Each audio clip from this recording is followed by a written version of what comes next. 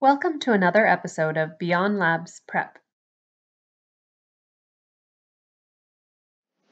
Okay, I want to walk through an activity with you on how to measure heat of fusion. So to start off, you'd grab a beaker, bring it out, bring it over by the balance, then you're going to go into the stockroom and get one of the calorimeters. You can use either the, the standard Dewar or the coffee cup.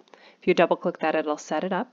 And then you're going to measure out some quantity of water. Whatever quantity you use, you're going to want to use that in your calculations. Then get some water, pour it into the calorimeter, turn in on the thermometer, turn on the stir. You can start graphing. You're going to want to record that initial temperature of the water. Now you're going to grab a scoop of ice and you're going to then figure out how much that weighs. So you'll take your um, ice bucket, open it up, grab a scoop of ice, dump it into the beaker, come on over to the balance area, and weigh that. So now that's the mass of the ice and the beaker. You're going to need to subtract that off eventually. And so then what you do is once you have your initial temperature of the water, then you just pour the ice into the coffee cup.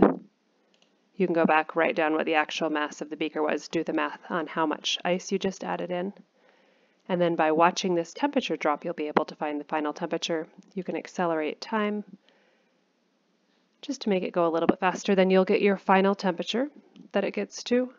And with that final temperature, you can find several different things in the lab. There we go. We got our final temperature, and now the temperature is rising again.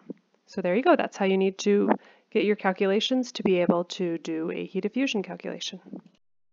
Please don't forget to like, share, and subscribe and go to beyondlabz.com to download the entire suite of virtual labs.